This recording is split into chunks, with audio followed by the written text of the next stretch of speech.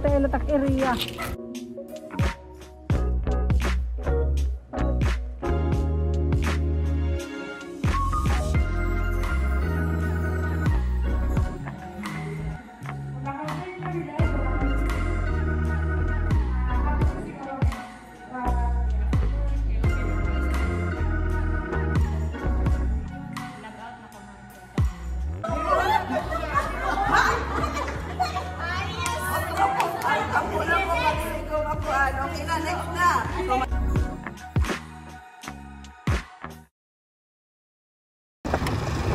Asa mo pa dong?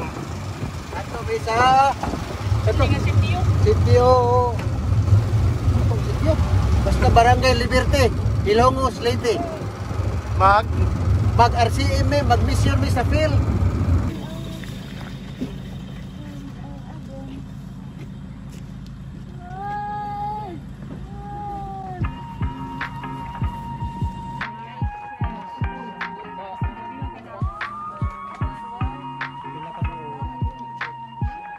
Eh, so madyong na tong tanan.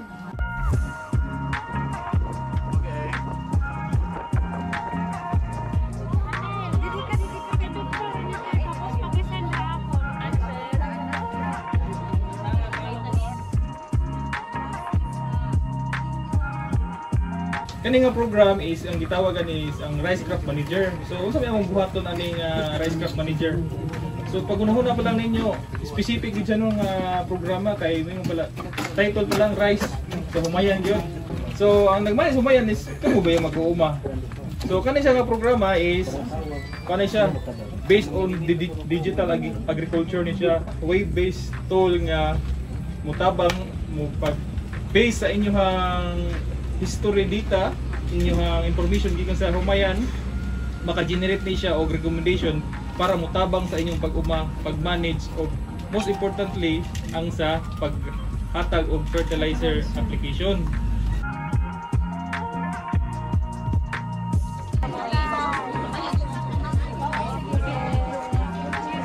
Excited gud ko pag libot sa farm ni ni mana uh, Florencia Orhel kay tuwal gyud dito nga ako gadto.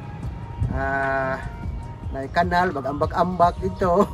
Musuot sa kalibunan pero okay ra gihapon. Kay mao may ato panoyo nga mahibaw gud mi ani nga kuan kini nga RCM kanang kanang bag-o karon nga bersyon. So dako kayong kuan dako kayong kayuhan dako kayong uh, bintaha namo nga naka-attend. Ani. So mas maayon ta mga farmers. Abot na mo nga tos kapuokan amo ni implement dito di lang gyud paspasan pero amo gyud talinguhaon nga makuha namo ang mga area nga gamit sa kuan sa tool sa RCM Ano man lang sa hectares kita.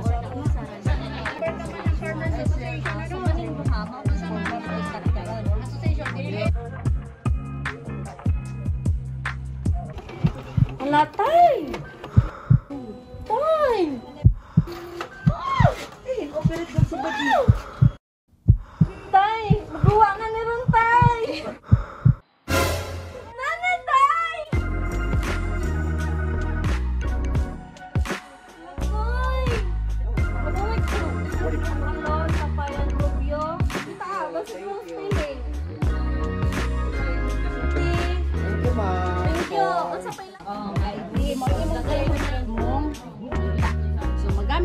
sa agriculture. kanang kining activity ba ko kay tabang ng ni mga IEWs makahibaw, may kunsaon o masabtan pud namo og tinuod ba nang gipan-declare sa mga farmers? Kay parahan ng tinghatag og kanang binhi ang uban baya kay di baya sila mo declare og tarong uban pud mo. Ningon sila nga 1 hectare nya wala day ka pud 1 hectare nya so mahuga ay naghatag sa abono daghan nila mo kuan nya masayang pud to nga sobra ka nga seeds gani nga binhi What is that? Thank you. Perfect. Yung kuan experience sa field. Ah, dili ha field, masayon la kay kuan niya, baga square na gud nga daan. Di dili pa ron dito apis ka nga dagang kami kabalik oy kay hindi kami maka kuhaan ikis-ikis ba. Ah. yan na nakagets kami yan dili yan hagna na gud an actual. Sa experience pod nako, masayon kay ang farmer ang akong gipalibot. Naghuwat lang ko sa intersection. I-risk go na akong akong kinabuhig mga slide. Dito. Ay, ginoo. Ano ano mo? Wa pa sir. Si. Ah, unang ra ka parcel sir, unang ra.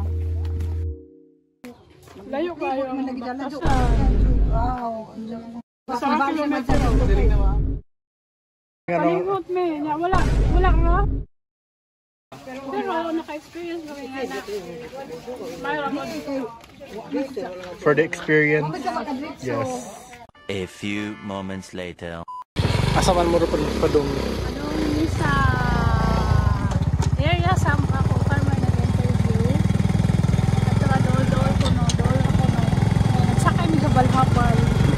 Ikapilang attempt. Second attempt. Lord, sana mag-perfect na ni Ron.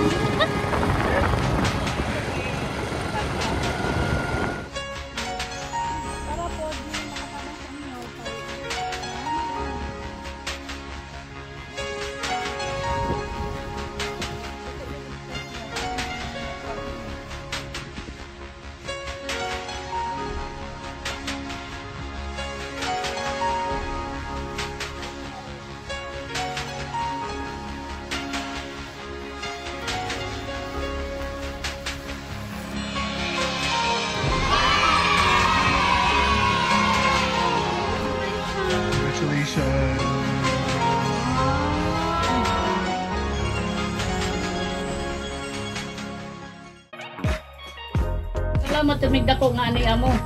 Nga. Da. Welcome ka mo na mo diri.